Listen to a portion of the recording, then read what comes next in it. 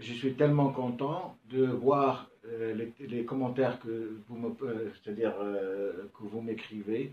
Ces commentaires me font très plaisir. Ils me donnent envie de continuer encore à donner et à donner. J'avoue que au départ, c'est-à-dire de cette chaîne, j'ai beaucoup hésité hein, pour lancer la chaîne.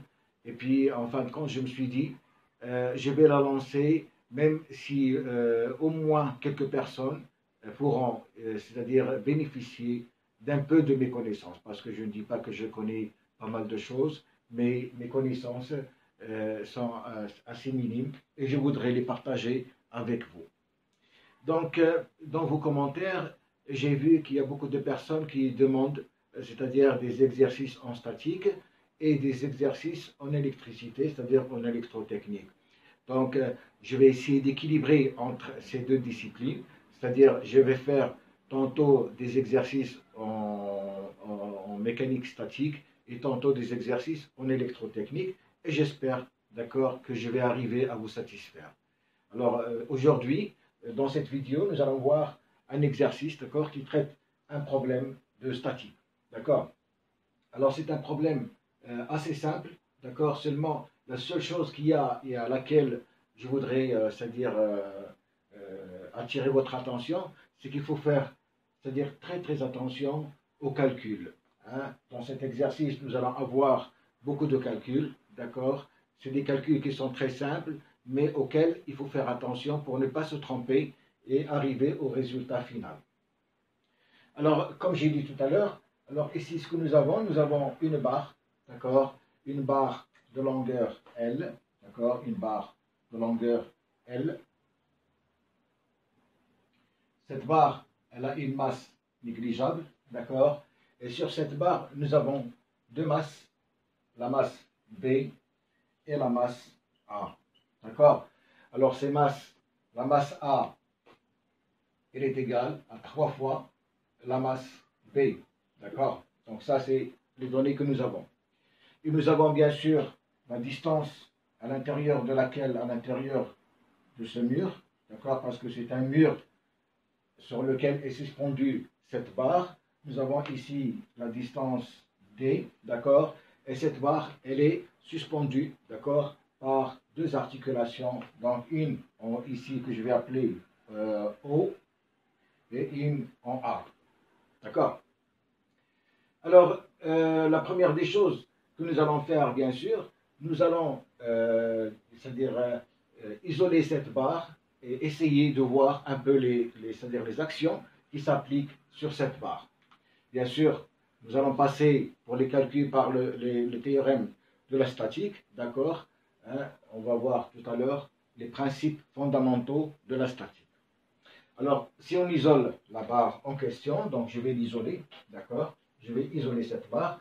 Pardon, j'ai oublié de mentionner ici, ici il y a un angle θ avec l'horizontale, d'accord La barre fait un angle θ avec l'horizontale. Alors, si j'isole ma barre, je vais l'isoler.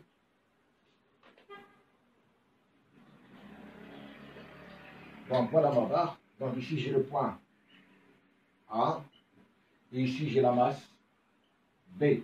D'accord? Donc, la barre A avec la masse A et la masse B. Et j'ai ici le point O. D'accord?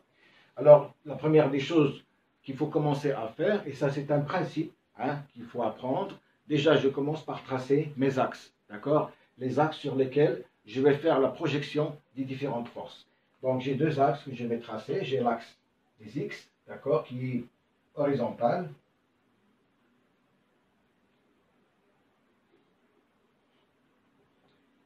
C'est la première des choses qu'il faut faire. hein. Déjà, commencer par isoler le solide que je vais, euh, c'est-à-dire étudier, et tracer les axes, d'accord, de projection de mes forces. Donc, j'ai l'axe AX et j'ai un autre axe AY. Ça, c'est la première des choses à faire. Donc, c'est très simple. Il faut commencer par ça. Donc, j'ai l'axe des X et l'axe des Y. Et bien sûr, j'ai ici mon angle θ. Hein, c'est bon. Alors, si je regarde un peu les différentes forces s'exerce sur ma barre. Bien sûr, j'ai le poids des différentes masses. Hein, le poids des différentes masses. Donc j'ai le poids PA.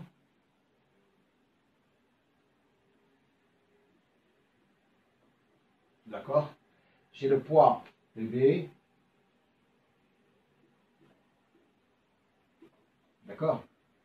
Et au poids PA, comme j'ai dit, c'est une c'est une articulation, d'accord? C'est une articulation, il y a deux degrés de liberté. Donc je vais avoir une autre réaction en A qui est horizontale, c'est-à-dire c'est la, force R A que je vais appeler, parce que normalement la force au niveau de A, c'est-à-dire elle n'est pas dirigée vers le bas, mais c'est une force normalement qui est inclinée, qui fait un angle quelconque avec l'horizontale. Donc voilà, ça c'est ma réaction au point A que je vais partager en deux réactions PA et PB parce que je ne connais pas, parce que c'est une articulation. Et comme c'est une articulation, je ne connais pas, c'est-à-dire le sens de ma réaction hein, qui est ici. Donc cette réaction, donc, je vais la partager en deux forces, RA et PA. Ici, au point O, bien sûr, j'ai une autre réaction puisque j'ai un appui, donc l'appui ici, d'accord? J'ai un appui ici et un appui ici. Donc l'appui ici, donc j'ai la force R qui est perpendiculaire au plan horizontal, au plan incliné. Donc voilà ma force que je vais appeler RO. Hein? Donc cette force, elle est perpendiculaire au plan incliné. Et cette force également, elle fait avec l'horizontale. Donc elle fait avec l'horizontale, d'accord? L'angle θ. Voilà les différentes forces qui s'appliquent sur ma barre. Jusque-là, je pense c'est simple, hein, il n'y a pas grand-chose à, à, à apprendre. Hein. J'ai isolé ma barre, et puis bon, j'ai vu un peu les forces qui s'exercent. J'ai dit tout à l'heure que ma barre, il reposait sur deux appuis, d'accord Alors, le, premier appui haut, donc c'est un appui fixe, d'accord Et ici, j'ai un appui, d'accord c'est comme, c'est-à-dire une glissière. Hein, quand, je vais faire pivoter ma barre, d'accord C'est-à-dire le point A, il se déplace suivant euh, la verticale, euh, la verticale euh, sur l'axe AY.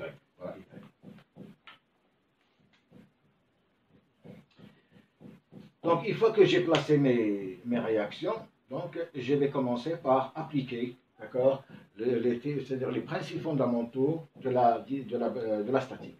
Alors, les principes fondamentaux de la statique, bien sûr, qu'est-ce qu'ils me disent? Ils me disent que le premier principe me dit que la somme des forces extérieures égale à zéro. Ça, c'est le premier principe. D'accord?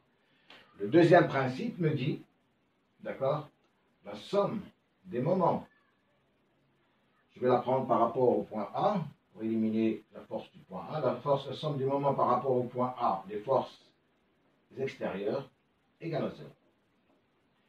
Ça, c'est les deux principes fondamentaux de la dynamique Hein, que je vais appliquer, d'accord, pour calculer mes différentes forces. Alors bien sûr, je vais faire un peu d'espace parce que hein, je vais effacer cette partie-là, parce que ce qui m'intéresse, euh, à dire euh, l'isolation, c'est la barre que j'ai isolée avec les différentes forces, et cette partie, je n'en ai plus besoin, donc je vais la supprimer, d'accord, et je garde en mémoire que ici j'ai la distance D et ici, j'ai la longueur L. Quoique, je vais les, je vais les mentionner ici. D'accord? Là, euh, j'ai AB égale L. D'accord? Et je vais mentionner ici, voilà. Si je prends, bon, je vais mentionner ici le point. Point C. D'accord? Je vais prendre AC égale à D. D'accord? Donc cette longueur-là, de A jusqu'à C, c'est la longueur D, et de A à B, c'est la longueur L. Comme ça, je vais effacer cette partie, d'accord, qui va me servir hein, de zone pour faire mes calculs. Alors, là, on va y aller doucement, parce que, euh, comme j'ai dit tout à l'heure, le problème réside, d'accord, dans l'établissement des différentes équations. Alors je prends la première équation, donc la somme des forces extérieures, d'accord, égale à 0. Alors qu'est-ce que cela veut dire? Cela veut dire que j'ai la réaction PA plus RA, d'accord, plus RO et plus PB égale à 0. Hein? Jusque-là, je pense, c'est assez simple. Donc, je vais projeter mes forces tantôt sur l'axe AX et tantôt sur l'axe AY. Donc, sur AX, sur AX, qu'est-ce que je vais avoir? PA, elle s'annule. D'accord? Je vais avoir plus RA, donc RA. D'accord RO, puisqu'elle fait un angle θ avec, euh, avec le plan incliné, donc je vais avoir cette projection et je vais avoir cette projection. Alors cette projection sur l'axe des x, c'est bien moins RO sinus θ, hein, d'accord Sinus θ, normalement, c'est cette valeur sur cette valeur, donc la, la, valeur ici, c'est RO sinus θ. Et PB, elle s'annule, puisqu'elle est perpendiculaire à l'axe des x, et tout ça égale à 0. Alors, sur l'axe des Y, sur AY, d'accord, je vais avoir moins PA. RA, elle est perpendiculaire à l'axe des Y, donc elle s'annule. Ici, RO, il est positif, donc plus RO, d'accord Et puis je vais, c'est-à-dire c'est cette valeur qui m'intéresse, RO cosinus θ, et moins PA. Tan PB, pardon, moins PB, égale à 0. Voilà mes deux équations, donc je vais appeler celle-là numéro 1 et je vais appeler celle-là numéro 2. Je viens de, poser mes deux équations, d'accord, selon le premier principe fondamental de la dynamique, en projection une fois sur l'axe des x et une fois sur l'axe des y. Donc jusque-là, je n'ai fait que projeter mes équations. Et bien sûr, c'est-à-dire euh, la projection, c'est-à-dire le calcul hein, des forces en fonction des angles, ça je pense, vous devez le savoir, hein, c'est assez simple jusqu'à présent. Alors je continue. Je vais prendre maintenant la deuxième équation, c'est-à-dire la somme des moments par rapport à A pour éliminer les forces au point A, les forces extérieures, d'accord, égale à 0. Alors qu'est-ce que je vais avoir? Alors au point A, tout s'annule. Donc je vais avoir AO, AO, vecteur AO, vectoriel, RO, D'accord Ici, je vais avoir plus AB vectoriel P, PB égale à 0.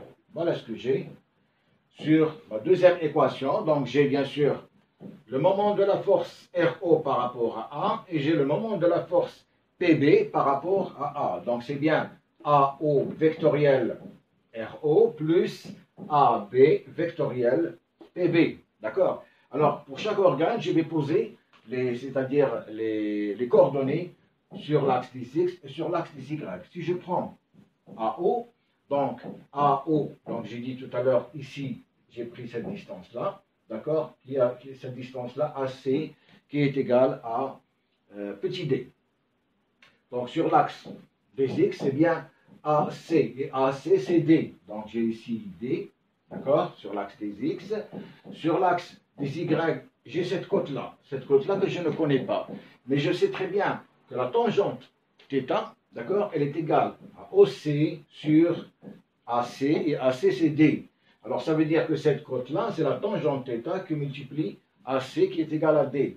Ça veut dire D tangente θ. D'accord Sur l'axe des Y. et ici, 0, bien sûr sur Z0.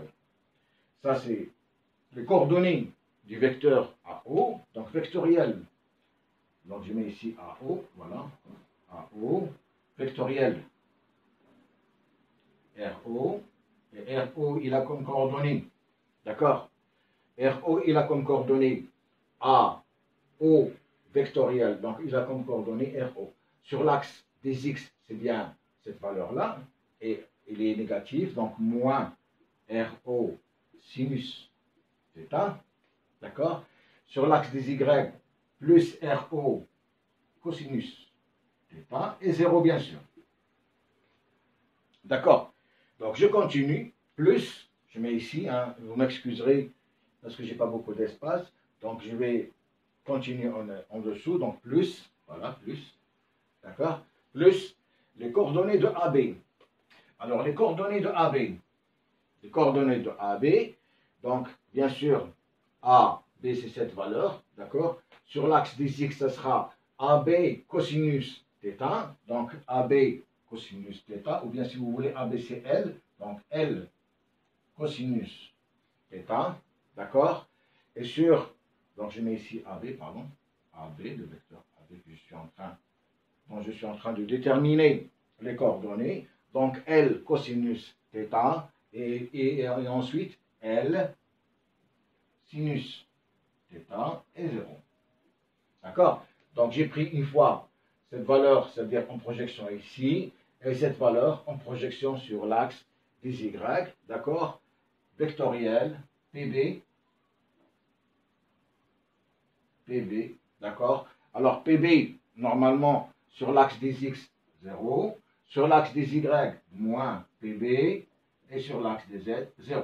Voilà, je viens de déterminer les coordonnées, d'accord, des, différentes, euh, des différents vecteurs hein, que j'ai euh, dans mon équation. Bien, alors euh, je vais maintenant développer, d'accord, cette équation-là, d'accord, je vais la développer, développer, c'est-à-dire l'équation des moments. Alors pour la développer, donc je vais, c'est-à-dire mettre un peu plus d'espace et je ne sais pas comment nous allons faire parce que je n'ai pas beaucoup d'espace. Donc je vais effacer ici, d'accord Vous allez m'en excuser. Hein je vais effacer ici et développer cette équation ici. Alors, pour développer cette équation, bien sûr, c'est une matrice. Hein donc, je vais avoir D qui multiplie RO cosinus θ, moins, moins, ça fait plus D tangente θ, RO sinus θ. D'accord Donc, comme j'ai dit tout à l'heure, il faut aller doucement parce que c'est là où il y a le problème. Hein c'est un problème de calcul, donc il faut, il faut essayer de ne pas se tromper.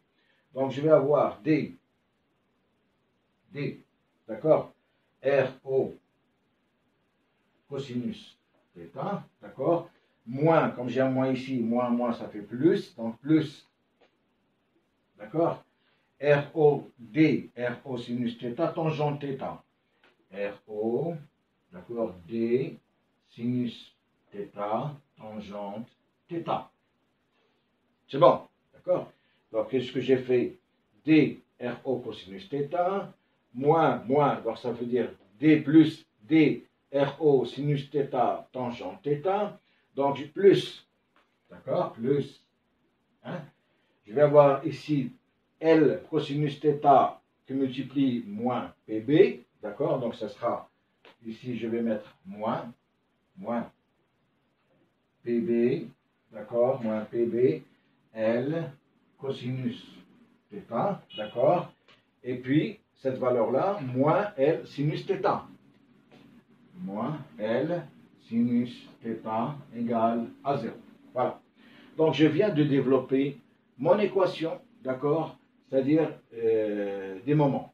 Hein qui est, celle, qui, qui, qui bien celle-là. Pardon, ici, normalement, ici c'est 0, pardon. Pardon, ici c'est 0, d'accord Puisque c'est euh, L cosinus θ que multiplie moins PB, ici j'ai 0. Donc L sinus θ que multiplie 0, c'est 0. Donc ici, voilà, égal à 0. Donc comme j'ai dit tout à l'heure, il faut faire attention, il faut aller doucement, d'accord, dans les calculs, pour ne pas se tromper. Une fois que nous avons posé nos équations, on est tranquille. Donc là, je vais appeler cette équation, équation numéro donc 1, 2, équation numéro 3. Hein, et je vais reporter mes équations ici, comme ça je vais libérer cette partie. Donc l'équation numéro 3. Alors l'équation numéro 1, normalement c'est RA moins RO sinus θ. D'accord Sinus θ égale à 0. Et l'équation, c'est l'équation 1.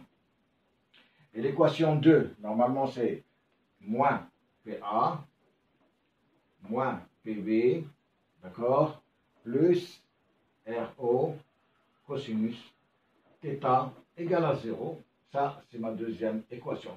Voilà mes trois équations, d'accord Ils sont assez simples, mais comme j'ai dit tout à l'heure, on doit faire attention, d'accord, au calcul pour ne pas se tromper. Hein. Le développement de ces équations, c'est ce qui va nous donner les résultats. Si le développement, il est bon, les résultats seront bons. Si notre développement n'est pas bon, nos résultats ne sont pas bons. Donc c'est une suite chronologique à, faire et il faut y aller doucement. Donc je vais effacer ici, j'en ai plus besoin.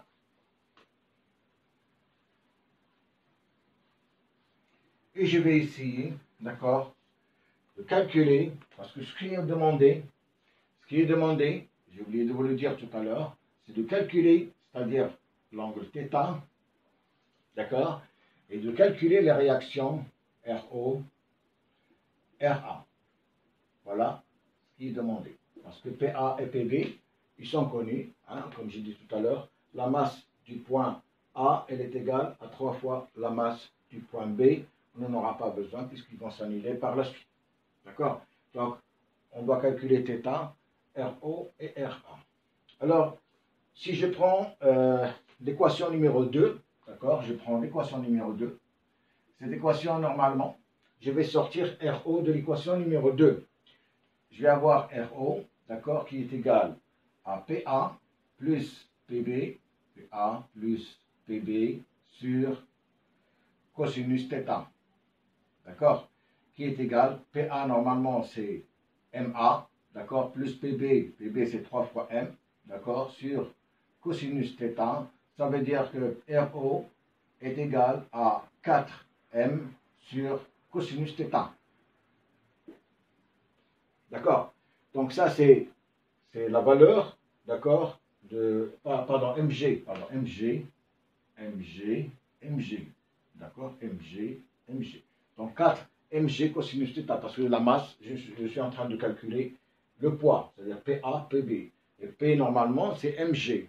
Donc, euh, j'ai mg, puisque PA, c'est-à-dire la masse de A, c'est une fois, plus 3 fois mg, puisque la masse de B, c'est égal à 3 fois ma, donc plus 3 fois mg sur cosinus θ, et j'ai RO qui est égal à 4 mg sur cosinus θ, que je vais marquer ici, d'accord Donc, RO, pour gagner un peu plus d'espace, RO est égal à 4 mg, d'accord, sur cosinus θ. Ça, c'est l'équation de 2. Mon équation 2. D'accord Et cette équation 2, je vais la reporter dans l'équation 3, d'accord Pour sortir RO. Puisque RO ici, puisque je veux, c'est-à-dire, je veux calculer θ, alors j'ai θ ici, θ, θ, d'accord euh, PB c'est connu, donc mg, donc euh, la, masse fois g, euh, la D c'est connu, donc RO n'est pas connu, c'est pour ça que je sors RO de l'équation 2 pour avoir tout en fonction de θ et mg. C'est bon, c'est pour ça que j'ai sorti RO. Donc si je remplace tout ça ici, alors là il faut y aller doucement parce que moi aussi hein, je risque de me tromper. Alors on va y aller doucement, d'accord Pour ne pas faire de bêtises. Donc je vais avoir ici, je vais sortir RO ici, d'accord J'ai RO en fonction d cosinus θ, d cosinus θ, d'accord, plus d sinus θ, d sinus θ tangente θ, d'accord, moins PB, on a dit que c'est trois fois mg, trois fois mg, L, cosinus θ, égale à 0. D'accord hein? Donc, qu'est-ce que j'ai fait ici? J'ai pris l'équation 3, j'ai mis RO en facteur, d'accord? Et puis, j'ai gardé le reste. Donc, euh, RO, RO, je vais remplacer RO par 4 mg sur cosinus θ. Donc, je vais remplacer RO par 4 mg cosinus θ de l'équation 2. Cela va me donner 4 mg, d'accord, sur cosinus θ, facteur de d cosinus θ plus d sinus θ. Et la tangente θ, normalement, c'est sinus θ sur cosinus θ, d'accord Moins 3mg L cosinus θ égale à 0. Donc, je n'ai fait que remplacer, c'est-à-dire dans l'équation, dans l'équation 3, d'accord J'ai remplacé RO par la valeur 4mg sur cosinus θ que j'ai sorti à partir de l'équation 2. Donc je vais multiplier ici, mettre au même dénominateur ici. Je vais avoir 4mg sur cosinus θ, facteur de d cos carré θ plus d sinus carré θ, le tout sur cosinus θ, d'accord, moins 3mg L cosinus θ égale à 0. D'accord C'est long, hein, mais on va y aller doucement, d'accord Et on va y arriver, d'accord Donc ici, cos carré θ plus sin carré θ, normalement, il est égal à 0. Donc je vais sortir le d, je vais le sortir également ici. Je vais avoir 4 mg qui multiplie d sur cosinus θ, facteur de 1 sur cosinus θ, d'accord Moins 3 mg L cosinus θ égale à 0.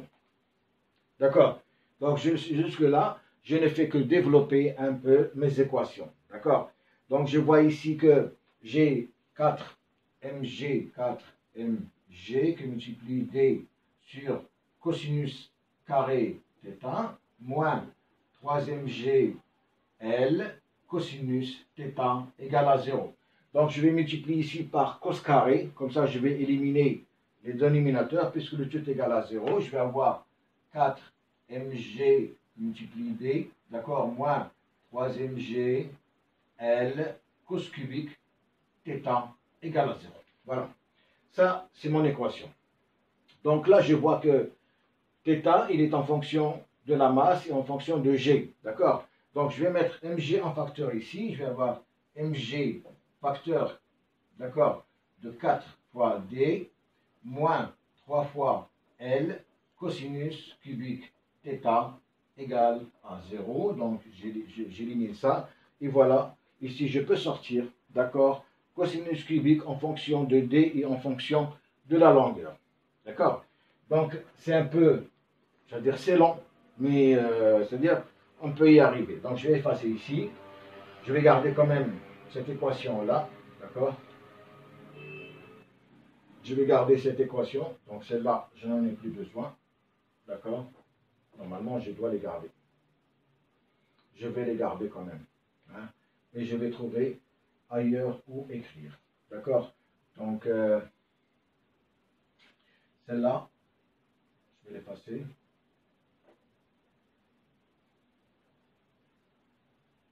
Je vais l'effacer. Mais je vais garder les équations, c'est-à-dire la première équation sur l'axe des x et l'équation sur l'axe des y que je vais refaire. Hein, je vais les garder puisqu'ils vont me donner, c'est-à-dire les deux euh, sur x. J'ai dit que sur x, je vais avoir RA, d'accord, euh, plus, moins, pardon, RO sinus θ, d'accord, égal à 0. Voilà. C'est cette équation que je vais garder. D'accord Alors là, je vais tirer ici, donc ici, d'accord Je vais tirer cosinus cubique θ, donc cosinus cubique θ est égal, d'accord, à 4D, euh, 4D sur 3L. D'accord Et de là, je vais tirer θ, donc θ, elle est égale à arc cosinus, d'accord? 4D sur 3L à la puissance entière. Voilà. Donc, euh, je viens de déterminer l'angle θ. D'accord? Donc, θ, est égal à arc cosinus 4D, D c'est connu, L c'est connu, donc le tout à la puissance entière. C'est bon. Donc, on vient de calculer θ, θ par exemple. Donc, θ, on vient de le calculer. Alors, Maintenant, nous allons calculer RO et RA. Hein, c'est ce qui nous reste, RO et RA. Donc, comme j'ai ici RA et RO, et RO est égal à 4 mg sur cosinus θ. D'accord Donc, euh, une fois que j'ai déterminé θ, hein, donc RO, normalement, il est connu, puisque je peux calculer le cosinus θ. Et une fois que j'ai calculé le cosinus θ, je vais calculer RA. Et RA, à ce moment-là, sera égal à RO sinus θ. Voilà. Donc là, je viens de calculer RA, RO, en connaissant l'angle θ. Un l'angle θ qui est un peu important, qui est long à calculer, mais on y arrive, et voilà, on est arrivé à calculer cet angle θ, d'accord Alors, vous pouvez faire une application numérique si vous voulez. Hein, vous pouvez prendre une valeur quelconque pour la longueur, une valeur quelconque pour euh, D, et la masse, une autre valeur. Euh, la masse, vous n'en avez pas besoin, puisque c'est en fonction de D et L, et vous allez trouver euh, θ, d'accord, un, un degré donné, et de là, vous allez pouvoir calculer le cosinus θ et le sinus θ, et vous allez sortir RA et RO. Voilà. Donc, euh, c'était un exercice assez simple, mais je voulais tout simplement vous dire qu'il faut, faut faire attention au développement des équations. C'est là où il y a le plus de problèmes. Une fois que nous avons développé nos équations convenablement, hein, normalement, tout, euh, c'est-à-dire, euh, il n'y a pas de quoi, c'est-à-dire, se tromper. Voilà. Donc j'espère que j'ai été clair hein, sur cet exercice. Hein, on verra d'autres exercices une autre fois. D'accord? Voilà, je vous remercie et à la prochaine, Inch'Allah.